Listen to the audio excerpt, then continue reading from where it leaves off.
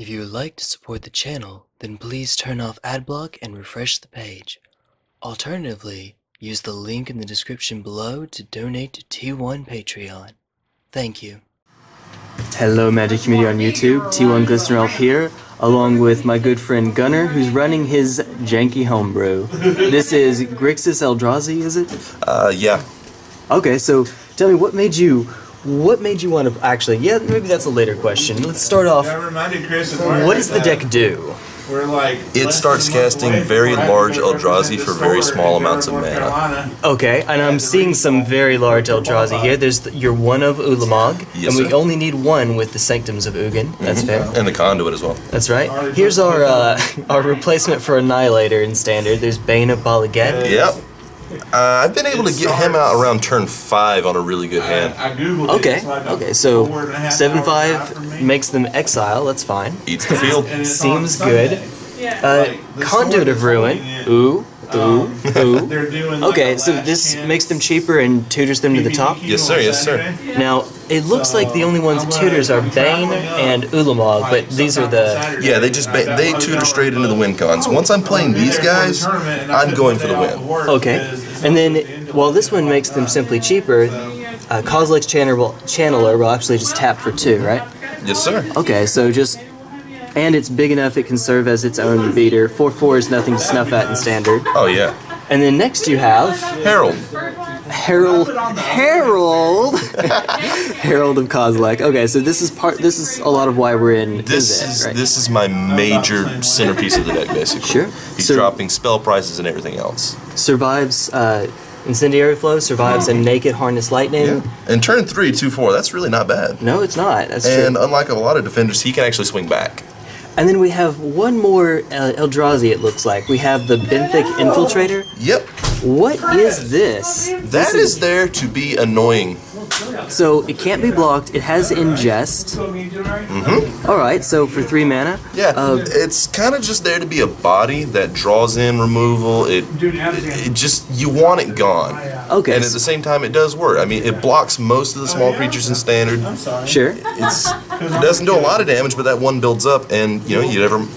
Yeah. if I drop a Gearhulk into exile, people start crying. The fact that it has four toughness seems seems real good. Seems real consequential. Yeah, nothing small. All right. So we have one more creature, however, though. Yeah, the only guy that dies easy. So we have our little one three Baral, Chief of Compliance. Rip Baral. Yes, sir. Instant sorceress costs one less to cast. I can understand not running the full four, it's Yes. legendary, and then it loots when you counter a spell, which I think we do a pretty good bit in this deck. I'm looking right now at, uh, we've got our Less than I used to. Yeah, Fair three enough. of negate, which Baral. Well, not Herald, but Baral drops that down to a one drop, which is the glorious bit. Yep. But Herald does work on our other counter spells. Spell Shrivel. So devoid, and it's a, a bigger mana leak, but it costs you more, but it exiles it too. And that's why that's that's why I'm trying to run mostly devoid spells because Herald drops the cost of anything colorless. That's right. So, So a Herald and a Baral on the field, or two Heralds, all of a sudden I'm casting that for one. that's right. So one mana, four four spikes, and it exiles it. Yes, sir. That seems pretty good. All right, so I'm also seeing here that we have Kozilek's return. This is part of why he's running the the high toughness creatures like Benthic Infiltrator. Two damage will not kill yours and will take out aggro opponents. Yeah, I have a lot of trouble removing early game creatures, especially if they go wide. Mm-hmm. So you know, that's just a no-brainer. Okay, makes sense. And then in the late game, And seems boom. good. Yeah, late game. If it gets crazy, I just hit the button. All right. Uh, next we have Harness Lightning because this is standard. Yes. Even without Smuggler's Copter, still makes the cut. You think, right? Yeah, the reason I'm specifically running hu- Smuggler's Copters over things like, well, any other burn spell. Harness Lightning. Yeah, over- o- yeah. Over uh, Incendiary Flow because it's instant, and it goes well with the Glimmer of Genius.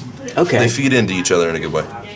So the Glimmer of Genius gets me my card draw and feeds into this. Speaking of which, good old Glimmer of Genius. Scry two, draw two, two energy.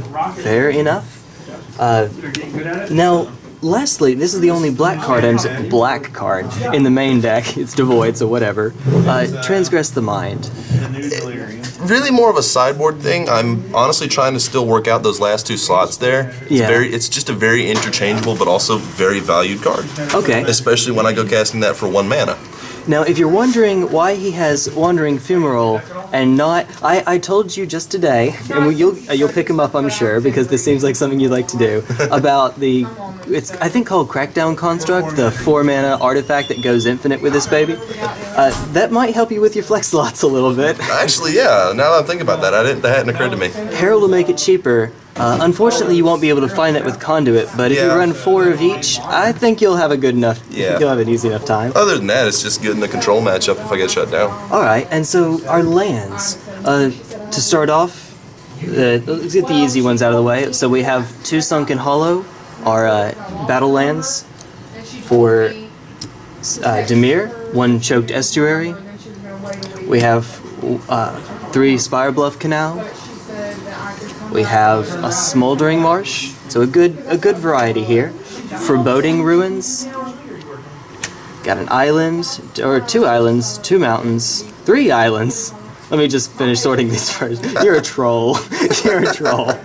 All right, so three islands, three mountains, and two swamps. All full arts. Shout outs to full arts. Oh yeah. All right, so and then of course we have we, we talked about fumarole. And these lands actually act as an engine for me. Uh, Yeah, Shrine Shrine of of the Forsaken Gods. Gods. All right.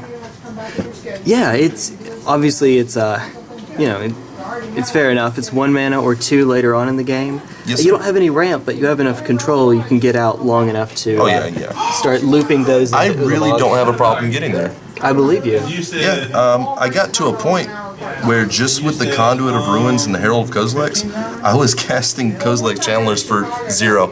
And then the second Kozilek Channeler was tapping one. Yep. Six more lands left over. There you go. And then of course Sanctum of Ugin goes and gets Yep. da da gets Bane of Bala Ged or the Ulamog. Straight into Win Factor. Yeah. Now, as for the sideboard, just really quickly, I'm seeing. Uh, well, you, you you can talk about your sideboard choices. Well, the sideboard is not the most focused thing right now. Uh, as of yet, no deck has really taken over to give me a single-minded direction. Sure. Vehicles fell out. Delirium's not as popular around here as it was. Mm-hmm. So it's just very general, very basic. So I have I'm staying at the double. I have uh, Planeswalker kills, We have our. Oh, sorry. Yeah, anti-Planeswalker work. two ruinous path. Yeah. That's right. If they go incredibly wide, I have more Herald of uh, Kozilek's Kozilek's Return? Yep, yeah, fair more enough. Kozilek's Return. Sure. Um, Seems good. Some basic incendiary flows for burn. Yeah, for burn, just- more uh, more creature removal, Yeah. exiles them. Yeah. more draw and a little bit more control with anticipating void shatter. Yeah, he has three anticipates and how many void shatters? Um, two void shatter sideboard, okay, seems good to supplement the exile you already have in Spell Shrivel. and just uh, another thing I can swap in and out as necessary. Fatal Ah. push, because everybody likes this card. I don't even need to show this one. Everyone knows what this is. All right. Well, thank you very much. I uh, I appreciate it, dude. It looks it looks pretty sick, actually. It's for, for a homebrew, yeah. And paying zero mana for a Kozilek's Channeler seems right about where you want to be. Oh yeah. All right, take care, Magic Community. I will see you later. Now, you don't happen to have a YouTube channel or a website or anything I can plug for you, do you? Uh, not right now. No, nothing that isn't like ten years old. If that changes, I will put that in the description. Works for me. Take care.